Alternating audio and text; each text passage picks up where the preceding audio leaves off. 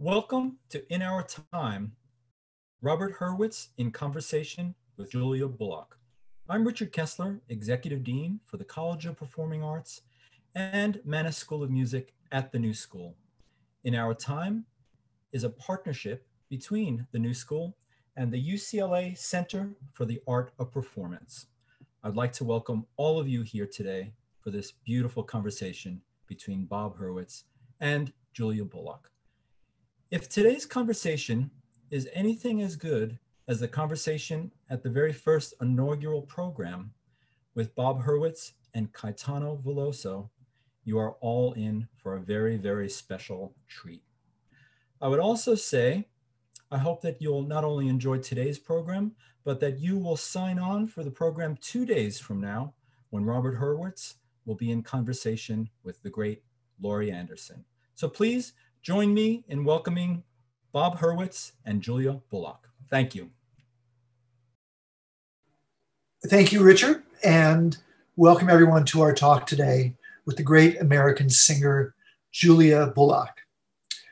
I could think of a dozen different ways to introduce Julia, but I want to focus on two accomplishments that have made an enormous impression on me. The first was her role as a curator, performer, and advocate at New York's Metropolitan Museum in the 2018 and 2019 season. She presented five remarkable concerts, two of which were solo programs featuring Julia.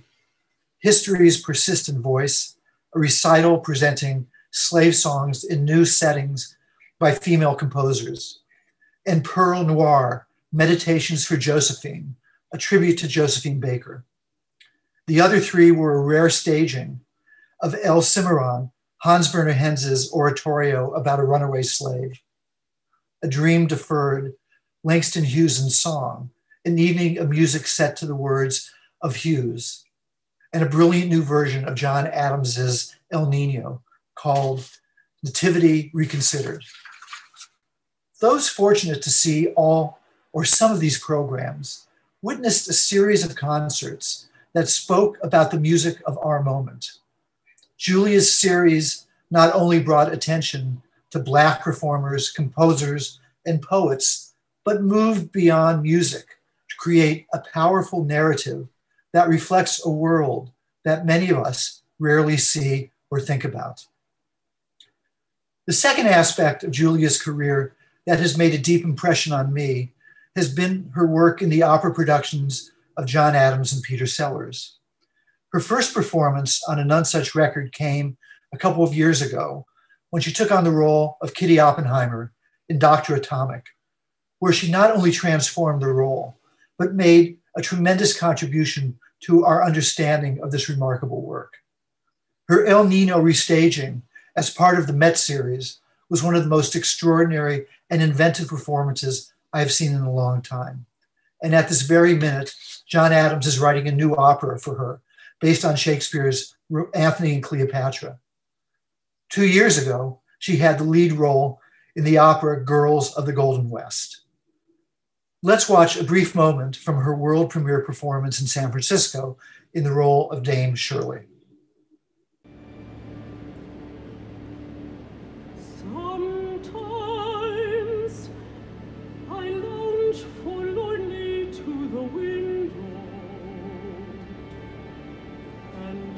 To take a bird's eye view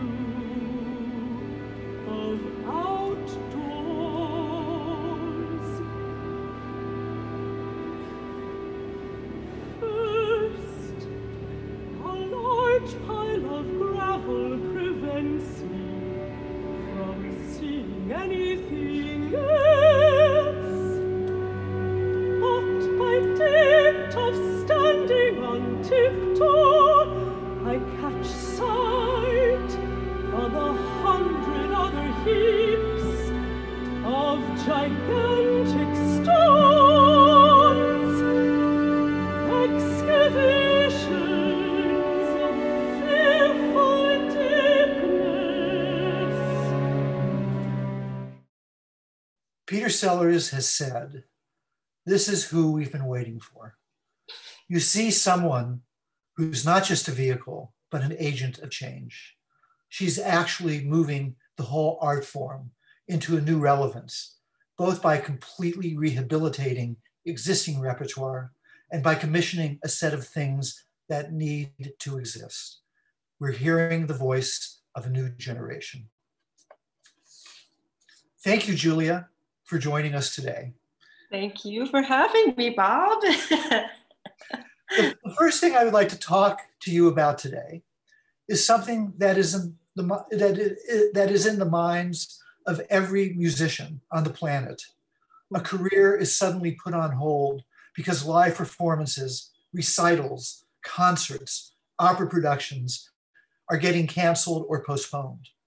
In fact, one of the things that has been postponed that I am especially and painfully aware of is the full recording of Girls of, of the Golden West, which was scheduled this spring by the Los Angeles Philharmonic to be released on Nonesuch. Before the pandemic began, you had one of the most active schedules of any singer in the world. How have you adapted to this moment? Just just adapted. I don't I don't know if I've done it uh, well or quickly, but um, honestly, it's been a, it's it's been good to just slow down a bit. Honestly, yeah, I I think we are many of us were running sometimes in in course and in step with one another but a lot of us were also just kind of driving our own way and and not really considering the impact that we were having on one another or um, carefully reflecting on the work that we were putting out in the world um, and the amount of resources also that we were using in order to make that work happen. And i'm really I, am I'm, I'm appreciative now that it's like it's it's every single person is taking this moment of quote unquote pause right. to reevaluate right. and also become more insistent about the kinds of work that they want to make and how they want to make it. I mean, I when all of this when COVID erupted worldwide, I was in this state of I guess, disappointment in myself, to be honest, because I thought, oh my gosh, I haven't prepared. Everything that I've done thus far has been about collaborating with other people in real time and in space, sharing space together. And I'm not prepared to make anything at this moment. And, and I was feeling creatively really um, frustrated but you know, I then of course, you know, I, I, do live with a wonderful musician. I live, I live with my husband, Christian Reif, and you know, he's a, a great conductor um, and also a beautiful pianist. And yeah, we just started to make music at home. I mean, I guess it was kind of one one way that I was adapting and appreciate not taking the time that we had together for granted, and also just as musicians cherishing this moment. So we started to record videos in the house and um, out of just you know reading through a bunch of material and saying gosh this really speaks to this moment. Do you want to lay it down on our on my iphone? Do you want to lay it down? Um, so that was what kind, of, yeah. what kind of pieces? What kind of music? um, well we, we song song literature. Um, yeah we started with schubert and uh, moved through Oscar Brown and Connie Converse and yeah. Carole King. I mean, it's really it's yeah the, the just yeah so, songs that spoke spoke to me or spoke to him. So. And when you use the word reevaluation, yeah, um, where do you see this leading, possibly, as mm. this moment is going to pass, hopefully, yeah. mm-hmm. soon, hopefully, and um, how when when have you thought about when we come out of it and live performance becomes reality again? Mm-hmm. Um, how you've you've benefited from this period of reevaluation.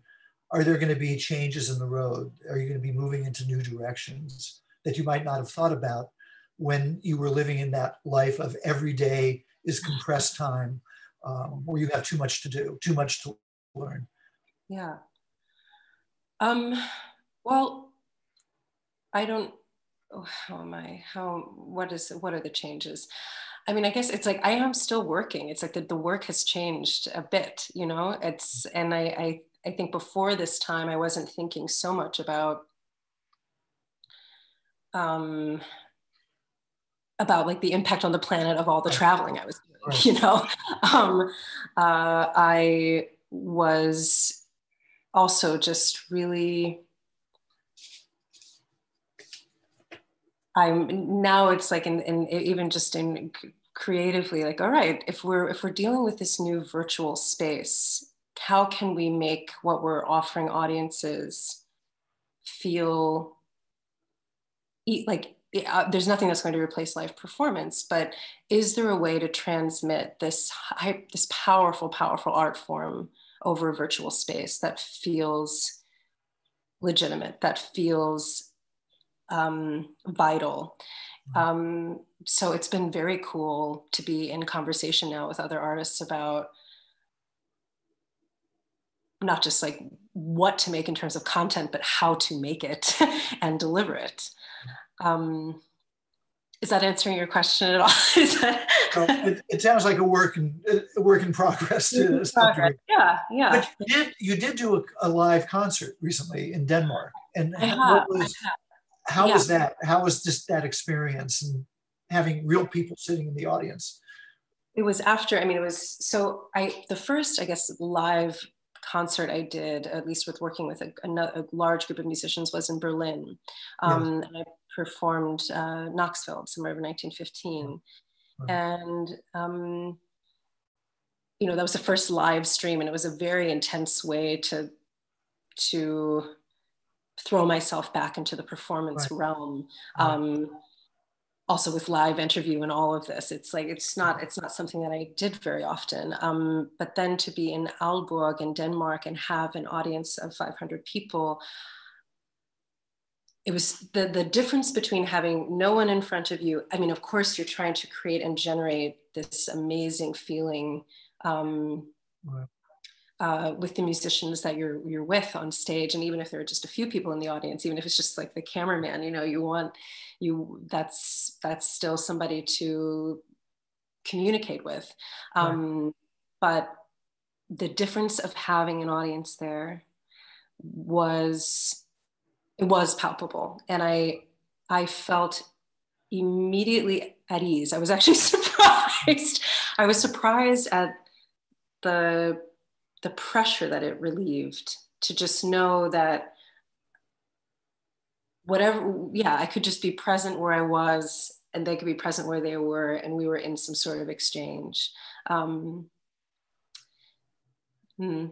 as, as, a singer for whom language is of paramount importance mm-hmm. have you found that the words that you've sung have changed their meanings because of the moment we're living in right now in some instances that they take on a different kind of meaning or that there yeah. was some vision that they that a, that the person who wrote the words might have had that may not have been intentional at that point but speaks to this moment i think that's what like that's the definition of what a classic work of art is like yeah. you, you know it's like if the material can speak to the present happening. Right. But then at any point in history, even if it's just your own his, your own life, you can right. return to the piece and it still carries relevance or somehow another aspect is illuminated because right. of the current circumstances. Like that, that I guess all, the, all that proves to me is that it's a real, it's a real classic work of art. Right. And um, I think, you know, I, that is why I can call myself very proudly a classical singer. It's like because I'm I'm looking for classics. uh, that's what I want to devote my time and energy to. Yeah. To learning and music studying. That, music that transcends any moment that will speak obviously into the future and, and speaks to us today. Mm. And and have there been any lessons you've learned from this period of time? Mm. So many, so many lessons. Um, right. Yes. I mean, I get one of the biggest lessons I've learned is that my value and worth is not just wrapped up in my performance. And I think I've always known that in some way, but I I didn't realize like how important it it was or it is actually how important it is for me to acknowledge and I think for every artist to acknowledge that your body is and the the what you your output is not actually the only thing that it makes you an artist. And it's not the only way that you can value yourself. Um, i i have been honestly like i guess just disappointed in in certain institutions from some ex, you know recent experiences that I've had, and and that it it it showed the fact that like all of the oppressive, discriminatory, supremacist, hierarchical, patriarchal things that we're talking about in our you know in government right now those are translated directly into arts institutions. And they play out in obvious ways and also in not so obvious ways. And and it's I, honestly i think that's been i don't know if that's a thing i've learned but that's been the greatest disappointment that's to like this been the, I, I, an important discovery but it's been a disappointment. And um but again i'm really grateful. Like i'm grateful that I'm, I'm grateful to know that because it's you know most of the most of the interactions that i have i've been so lucky over the course of my life creatively. And every all of the collaborations that i've had i've felt very much welcome to share of myself fully and to feel very much heard. Um, but that is not something that i can take for granted ever and yeah, as, as, as good as I thought I was at like maneuvering through certain spaces in our world and in our industry, it's like I, I was reminded very rudely and quickly um, how, how far we have to go. And um, uh, yeah that's been that has been hard honestly. That's knocked me pretty hard during this period. But a, um, a, a positive thing though that i have learned is that with all of the ideas like creatively whatever that I, I do want to do it's like and all the again all the opportunities i've been given and i've had a lot of privileges because of them. Right. Um, i can now make space i'm now in a position to make space for other artists to create and to have space. And I'm very excited, like to be making this shift in my life as well. No longer thinking, all right, if I have an idea for a project, of course it's my voice and it's my body that needs to be delivering it. It's like, no, actually, maybe there's some other performer or creative spirit who can live this project out. And that has been such yeah wow I, I i i love that that shift happened because it's not something i was thinking about at all before covid-19 i was definitely i mean i was i was still kind of programming with my my soul being in mind and um or at least somehow directly involved in every part of shaping it but yeah that's that's changed. That's cool well, I, I just want to throw in a couple of comments um, based on hmm. what you've just spoken about. The first is uh, has to do with the larger issue of presenters in hmm. general, which is yeah.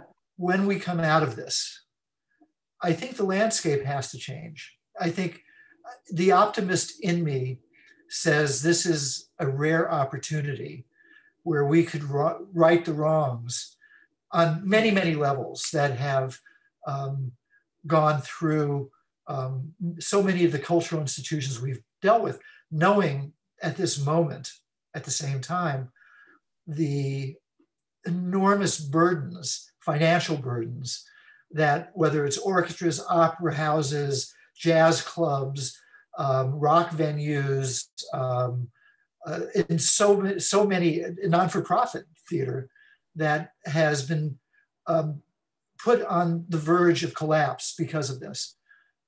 But it's going to re- but but people are going to want to go back and see live performances. There's no doubt about it. I didn't even talk, talk about theaters. That that is going to. But there's that, as I said, that optimist part that makes me hope, hope that when things come back, there's going to be a clean slate, and we're going to have the experience of everything that's happened in the past that may help us um, create a better landscape. The, I think the other thing demand that it does, Bob. It's like I don't, I can't even. I, I, I think I have to just demand that it will. And I think what this is what artists are doing now. I think yeah. actually not just artists, but everyone who, uh, yeah, so many people are are demanding that now. And, and go ahead. And by the way, this was pre-COVID an yeah. issue. It's not just now. It's just for 20 years, people have been talking about what's the future of so-called classical music, about mm-hmm. orchestras, about mm-hmm. programming, about inclusiveness, about finding an audience. I always used to joke when I was 20, I'd go to the New York Philharmonic and everyone would be older than me. And then when I was 40, I'd go to the New York Philharmonic and everyone would still be older than me. And when I was 60, you know the punchline of that joke. Um, and how are we going to in all of these forms create an audience that is actually not going to go there just because they think it's what they should do, but go there because they love what it is. And right. the other thing I was going to mention from an earlier thing you said in, in, in a, a, few moments ago is, is you were talking about yourself not just being Julia the singer, Julia the performer, but someone who was looking at a wider vision. And I think that's what you did at the Metropolitan Museum, because the, the, the five events actually became something much, much larger than each individual part. And it was a larger statement um, about things that in all the years I've been following music in America, I never saw happen at that level with hmm. that much consideration. So, and, and you spoke about that, I think, um, I saw a clip um, when you were at the speaking at the graduation at Eastman, where you spoke again about people having a larger vision of what they could be and what they can't be. Um, and I and I I think that's one of the things that I've always appreciated about you that it's bigger than just what we used to think a singer is going to be in the world. Mm. Well, I, I've had a lot of help also i just i have to i really i, I can't underscore that enough because right. yes as I, I think I, along the way even early on in my thinking about what classical music meant it's like yeah. I, the first operas that i watched um, on dvd at home when i was in high school was, were Peter Sellars' productions. And I thought, like, oh, uh, well, this just helps me understand what stage classical music can be and the commentary that it can have. It hadn't, it had not clicked for me. And again, I was like just learning about classical music, but those were the first impressions that I had of the, as you're talking about, like speaking to the moment and then, yeah. you know, flying yourself back in time and then charging forward. Um, it's like it it did all of the it accomplished you know his work in so many ways accomplished so many of those things and um, I and then to have then the opportunity to work with him to also I mean at the Met Museum yes I mean I really took my time in researching that place and and organizing myself and like polling my friends to see if there are projects that they wanted you know they were dreaming of doing but maybe couldn't do hadn't you know couldn't didn't have an opportunity to do anywhere else yet um, but i also worked with this tremendous presenter limor tomer and she gave me so much freedom to she's like dream as big as you want. that was that was what she said. Dream as big as you want. And when I asked her, what is why do you what is the importance of having a performing artist in a space that is dedicated to visual art? And she was like, I'm looking to to um, break down or or uh, remove the uh, barriers of entry. And and I felt like, okay, well, how do I live into that vision? Like that's her, that was a vision that she had. And mm-hmm. again, I don't know if I accomplished that, but it's like, it's these kind of, I, I've, I've been surrounded with people who are also thinking in a broad way. Not sorry, it's not, and I'm not just like broad strokes, like, yeah. and here's just, you know, here's, here's some subject matter that I, I hope you're is um, going to ignite something in you. It's like it's really you know thoughtfully worked and and mined. But I I um the, those those are the individuals who I, I guess have sought me out and who I also seek out. Um, you know that was just I just want to comment on that beautiful story of I guess watching Peter's Mozart operas as a teenager mm-hmm. as being your entry point, which speaks to modernism. I mean, I've worked with a lot of incredible composers who, in the beginning, were trashed by critics and other composers and other musicians. But for people who grew up 20 or 30 years later, that all of a sudden there was never it was never anything new anymore. That was just the language changed. And artists today, even though sometimes there's uh, blowback about um, new work because it doesn't fit the idea of what happened in the past, that eventually a new generation is going to come along. And the standard is going to be Peter's Mozart operas as much as Zeffirelli's Mozart operas or anyone else's Mozart operas. And it's going to change the way we think that we're not stuck way in the past of what it used to be, but we're, we're, we're we're actually living in a present. And the, the musicians of today will have a big impact on people who come along 20 years later as what the standard is. This, the, the, the goal line keeps moving in a yeah. certain way. Absolutely. And it takes, and that's, I think, one of the great things about today is that in my lifetime, I have found a larger number of young artists coming out of conservatories or doing it on their own in all forms of music who are not being held back by this kind of rigid genre only way that I grew up with, where there was really no separation. You were either a classical artist, you were a jazz musician, you were a pop artist, you, whatever you were, you were locked into that. Hmm. And I think that that has really changed. But um, anyway, I, just to move on a little bit, um, I just want to talk a little bit about what we're going through right now. Um, partially beyond music, but obviously having to do with music. You know, we've had a, a lifetime's worth of troubles in America. I know you're we're speaking to you in Germany today. Um, and the troubles were here, well, there were lots of troubles before February or March when COVID hit. It's not as if we were living in this kind of idyllic life um, before March 13th, when kind of the whole world fell upside down. Um, but that was just the first of many earthquakes that we've had to experience. Um, we've also, you know, we sometimes forget we're also living in a depression like um, economic disaster for a large segment of the American population. We're in a moment when the racial justice movement has grown exponentially after the George Floyd killing. There's a political crisis in this country with an election happening, by the way, two weeks from today.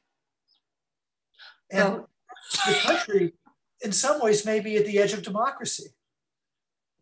None of these problems have gone away.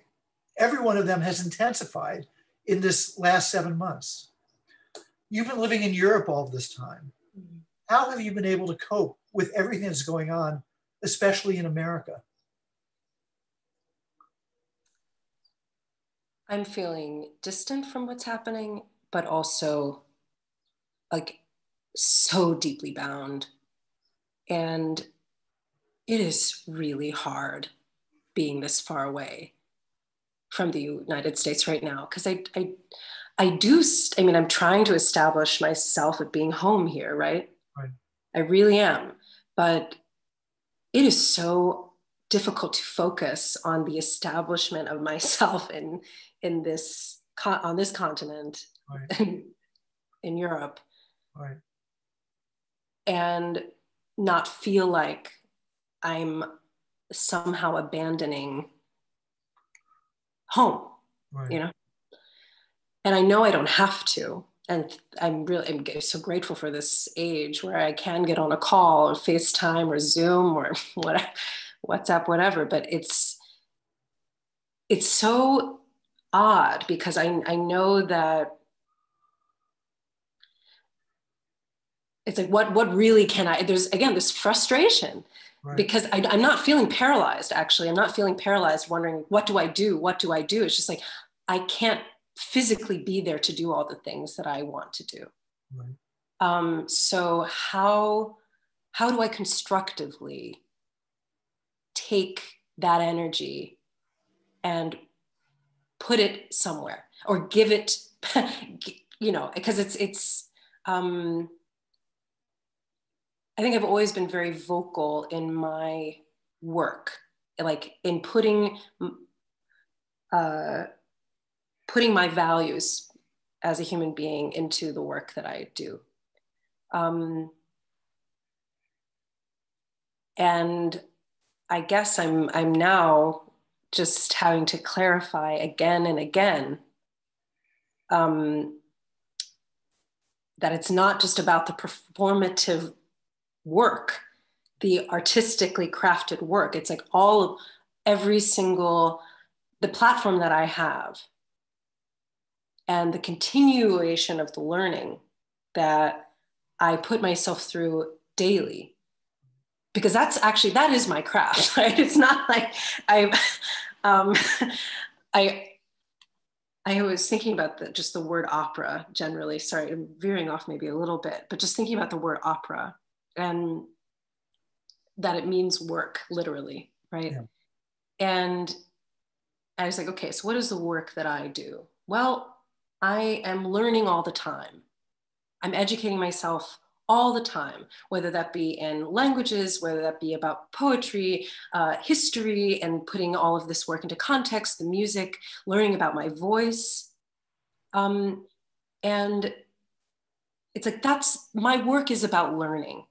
And so when I think of opera companies now, and it's like if their work, I mean, not that, again, not that our values have to be the same, but it's like if their work is not about learning, and encouraging that to be central to their mission. It's like, I don't know if, I mean, I don't know. I don't know if I can call that an opera company.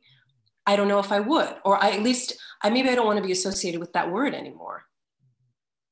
And it's not that I'm having an identity crisis. I'm just like trying to figure out what in the, as you said, where the where have we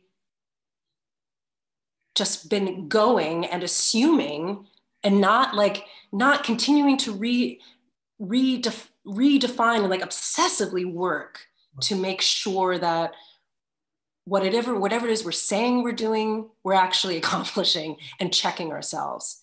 Um because this blindness and and moving forward in an ignorant way it's it's it's it's just not going to fly anymore I think, and that is the that is the most beautiful thing that has happened at this moment in history for me that I've seen. It's that nobody is willing to accept anyone's ignorance anymore, and it's Yeah. okay. You know, it like and yay, hooray, hooray, hooray! Like, That's one of the pluses of the digital landscape we live in today.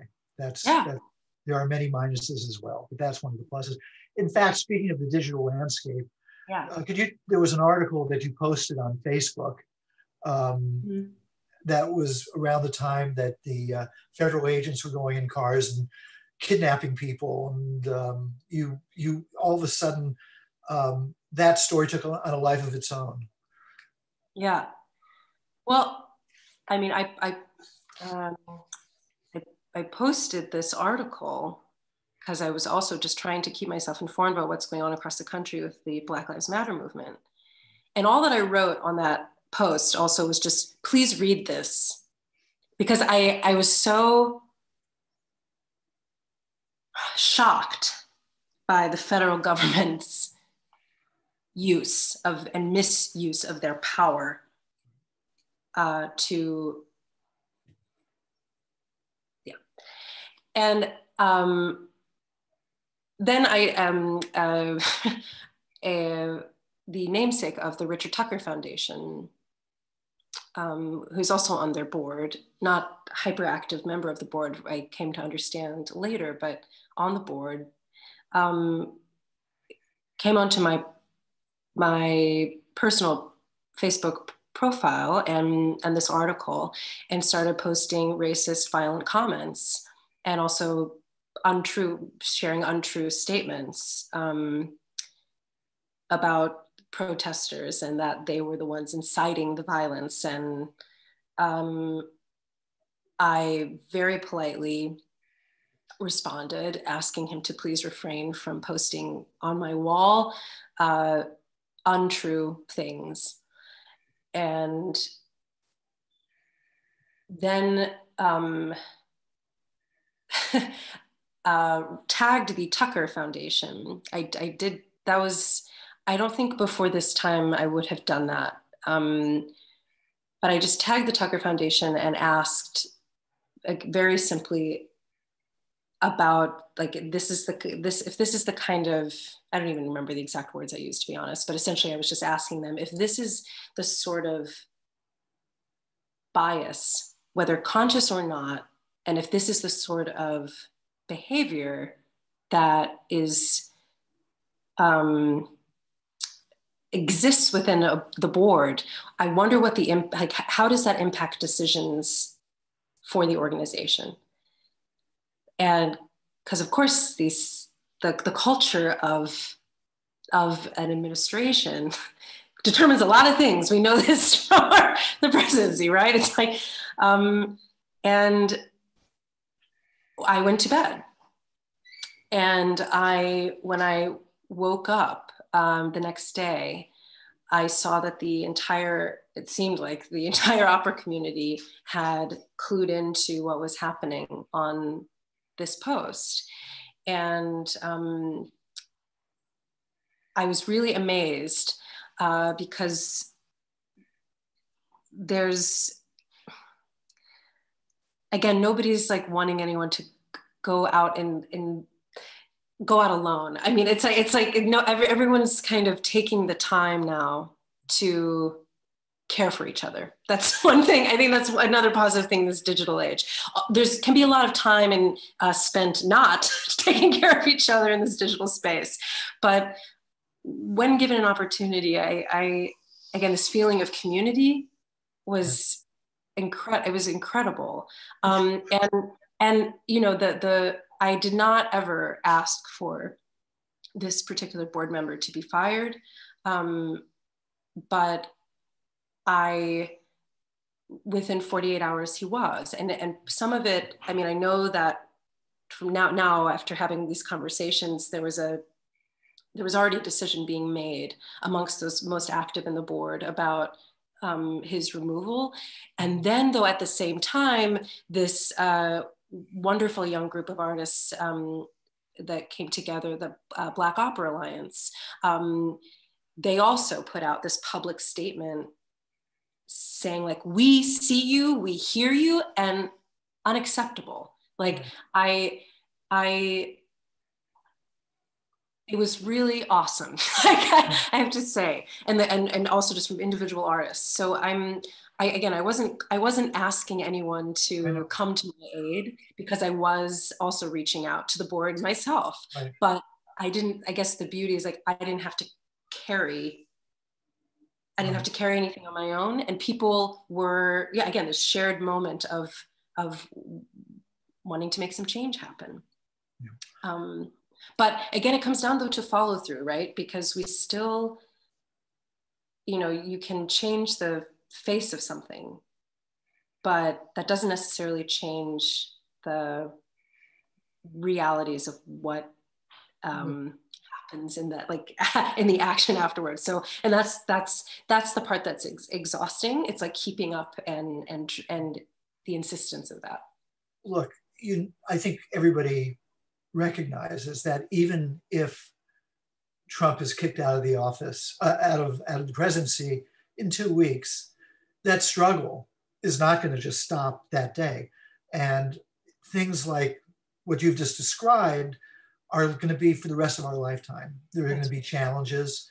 Um, with the prospect, there is a prospect of hope in this moment that that there's going to be enough people who are going to all of a sudden just think about their actions um, not just in the present, but in the past, um, and learn from, from what is going on. Um, speaking of learning, um, I witnessed this remarkable program that you made um, recently, uh, since certainly since I don't remember when it was, but I only saw it a few weeks ago, called This Human Moment. And for those out there, you could find that on the internet, and it's about um, I don't know if it's actually. I, I, don't know if it's released yet. Actually, it's I, on I, the internet without without oh. a song. Okay. But okay. I've but you could find it. Where you spoke of both the challenges and the advantages that you found in your career as a black woman and as a singer.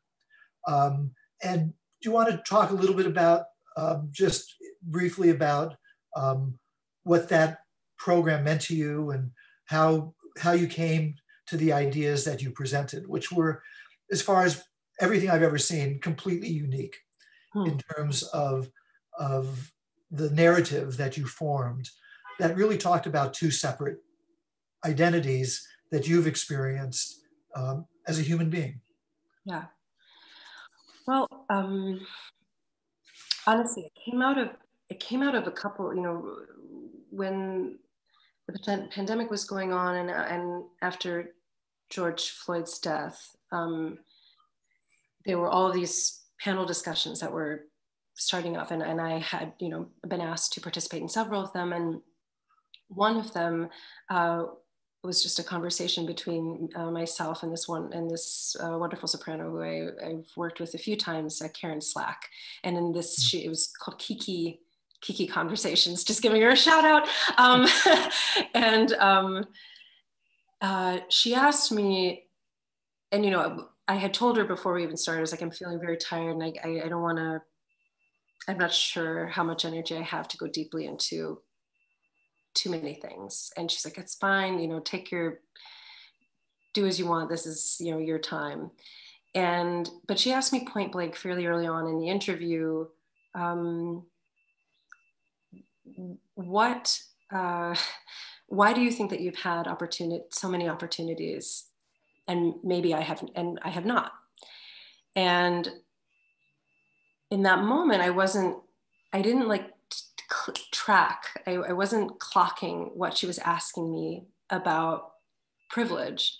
And honestly, I don't even know if she was clocking it herself. But when I looked back to review it a week later, I thought, oh my gosh, I missed this moment to talk about the privileges that I have, or the unearned advantages that I have had throughout the course of my life by having a white mother and a, a black dad. I mean, I'm, I'm of mixed heritage. Uh, I'm a light skinned black person, brown person. um, and I've also had advan- an advantage because I of my white adjacency growing up in predominantly white spaces for most of my life and understanding how to maneuver through them. Um, I spoke a little bit about this before, I guess, in this in this talk, and um, I went on like a. I started just writing a bunch uh, about it um, because I had spoken to individuals about this. I'd spoken even to other students about this and some of my colleagues, but I'd never spoken publicly about it. And um, it then I when this this offer came to me to participate in this program, uh, or this this these episodes of this human moment, um, I they asked if I would help to organize or come up with an exercise that would explain the increase of privileges in my life or sorry, just privilege and the levels of privilege that one can experience. And then also when that privilege starts being taken away, um, what that what that means, what that looks like. And I um, I had again help in organizing this, um, but it was one of the most important moments during but just this human moment. It was just one of the most important moments for me to also like organize in my mind how i have benefited from white supremacy and also how i have been and benefited from the delusion of white dominant culture. And it's like and i'm in a classical music world where the like the level of delusion around white dominant culture is extreme. It's extreme. Um, and also it's very hard to like penetrate and break because many people who are in the classical music world are under this assumption that they are somehow enlightened because of the fact that they are exposing, you know, they are immersed in this material that is timeless and like and that speaks to all human beings speaks to all of their deepest truth as human beings. And yet some of the like great atro- like uh, the associations with the classical music world historically it's like i, I i'm um it was just all very it's all been very troubling and sort of surreal to now also take on the responsibility of trying of like not just understanding that for myself but also like trying to make that clear for other people. And it's not I, I again i don't i don't have all the answers here but i um and even just the opportunity to speak about it is a privilege it's like a privilege in itself giving, giving being given space to share my perspectives about this is a privilege. Um, but it's a responsibility that I have to take super seriously. And I do because it haunts the hell out of me. And in the same program, it wasn't just that you had privilege, but you faced certain circumstances with people who were just utterly insensitive to who you were and treated you poorly. Um, one of the stories was almost scary. Um, the art presenter where you ended up staying. So, um, what, what, what I will say about when you said, well, sometimes we do too many videos or Zooms or whatever, I, I think that many of the things that people are doing now are going to age incredibly well. Hmm. And people are going to come, I think, and that's one program that I could imagine for years to come, people will come back and look at because it, it, it says something about our life, not just our life in music, but our life in general, that I think people, it's, it's they're lessons that we all still have to learn. Mm. And it was a remarkable um, um, moment to be a witness of.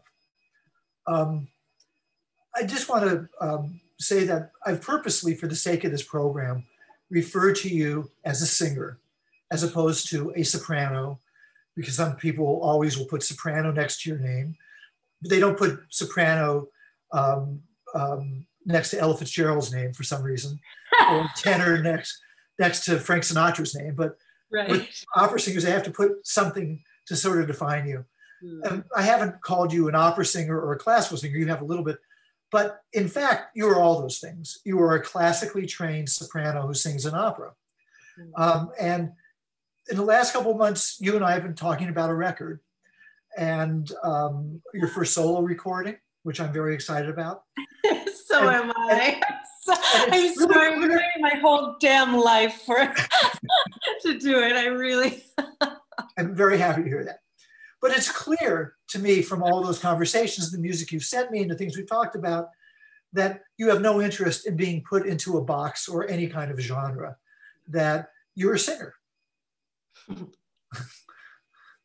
yes, I am. I am. And I just, I have a lot of interests and, and influences and I don't want to, I don't want to abandon any of them, you right. know? Um, because it's like, yeah, I can turn on a recording of Ella Fitzgerald and it'll help inform how I want to deliver uh, a piece written by Poulenc. It's like I I can, yeah, you know, and um, I, I, even think of Nina. You know, Nina Simone is. Uh, yeah, I started listening to her in high school. I think 15, 14, 15, and and and then when I started studying classical music, music, and I was like, wait, she's she's improvising a Bach like impromptu here. Wait, did she? And she, it's like, and she studied classical music. She did, and she, and even the the, and she didn't abandon any of her influences either. You know, it's just all. Um, and honestly, now when I think about the composers that I'm, I'm commissioning more, you know, more recently, like Rhiannon Giddens and Cecile McLorin Salvant, and and it's like they study classical voice. Yeah. They have predominantly written for themselves up until this moment in time. Right. Um, but there's uh, again the influences and how they write, how they use their voices. I, I'm just I I feel like it's um, it's not a free for all, but man, it feels really liberating to to not feel I have to choose. I can just I can just be and and as as I have embraced so much music and allowed myself to be influenced and and imp- like as much, as much impression has been left on me. It's like why why why close off? Why compartmentalize? Um, because there's so many ways that one can express, particularly with the human voice. Oh my gosh. You know, um, when I was talking about with hope for the future, I think you are of a generation of people who grew up with this enormous um, variety of things. And mm-hmm. I think I've always found the most interesting artists are people who are willing to be influenced by other people and sort of take everything in and what comes out is a very individualized voice as opposed to a copy. And I that's something that when you mention Rhiannon and Cecile and yourself, that all of you have that um, have have had all that learning that's gone into. I remember the first time Rhiannon came to the Nonesuch office, she mm. saw a poster of Nixon in China, and she started singing the news aria. I don't know of her, I from Nixon, you know, and I only knew of her as kind of a bluegrass uh, folk musician. And it, it said something to me um, that I don't know if you might have seen that in the past as much as it's prevalent today. So, I think that it is. I think that it has. Oh, sorry. Go ahead. Go ahead, Bob. I think that it has. Been, at least, I'm, know, I'm just. I'm trying to think like on this. The performers I adore, and the and and when they've talked about who they love, it's like it's a wide range and the inspirations yeah. come from all over the place. Um, and those are the ones who continue pushing the art form forward. And there are people who love who they love because they love them. I know that sounds a little bit convoluted but it's not because they love stuff because it's cool to love it. They love stuff because it's actually deeply affected them and yeah. sometimes push them into different directions um, in terms of music um, I'm just looking at a clock and we're going to probably um, have to tie this up. It's just been wonderful talking to you, um, Julia. And um, one, one thing I will say that, that I'm sure you have to feel very fortunate about is you've lived with your husband, a musician in Munich, who also is a fabulous pianist. So you actually have had, without having to go outside and go through all these things, right in your living room, you've been able to continue making music. And I'd like to um, end um, with um, Brown Baby, um, with your husband, Christian Reif. Um, and I know you want to say a few words about this piece before we um, sign off. But again, thank you. It's just been a wonderful hour I've been able to spend with you. I yeah, just about. Can I just say one thing? I just again, I, I don't want to talk about it, the album that has not yet been made yet, right. but I I'll just say what was so cool in our conversations initially is you just said, "What do you speak to this moment? Speak and share something that is of yourself and that only can come from you." Mm. And um, I, I just, and let the album itself be a work. It's not about trying to use it as a commodity to sell yourself or even to sell itself. Like it's a work of art. Create something. And I was like, oh, this is just, this is the conversation I've been wanting, dreaming of having with, with anyone in the record business. And it was, wow, it just, I, anyway, I just wanted to say, I'm so grateful for that. I, I get anyway, so grateful for that. And it may yeah. happen relatively soon. It might. Yeah. that's not, that's not By like the way, all you Americans, it's something that we might be able to do in Germany. That's right. That's yeah. right. So, um, but yes. Anyway, back back to Brown Baby. Brown yeah. Baby. Um, this uh, this song, I again, I, I grew up with, I, I guess. Um, or at least became very aware of while I was in early on in high school. And um, I programmed it for the first time on a my debut recital tour, which was in 2014. It was while I was still at Juilliard, and I just won the Young Concert Artists competition. And um, uh, and I, I, was a part of a, the second half of a recital program where that I was talking about the demoralization and objectification and dehumanization of Black women in particular. And I opened the second half of this recital program with Josephine Baker songs, went into Mon Salvage, Mon Salvaje, and then went into these civil rights songs and spirituals to close. And I so in 2014 in programming the song again it was about the context like the context presenting the song in this particular context um, a few months later michael brown was murdered in ferguson missouri um, you know st louis where I'm, I'm from and i thought all right when the black lives matter movement came onto like the international in, into international consciousness i thought all right like I may never have to sing this song again. It's a beautiful song, but how amazing if I won't ever have to sing this song again. And then, well, we all know the history that has continued since, sorry, and um, the events that have continued to be so demoralizing and so dehumanizing and so devastating. And I, when Ahmaud Arbery uh, was murdered, I thought, okay, and it was it was Mother's Mother's Day was coming up, and I thought, all right, I'm going to record this for Mother's Day because I need to do something. I need to I need to sing this. I don't know how, but I could not get my body and mind around delivering this song. And then uh, George Floyd was murdered. And for some reason, I just like every, I, it just, um, it's like I had, I had, I didn't just need, need to song, need to sing the song to process for myself. I was like, this is,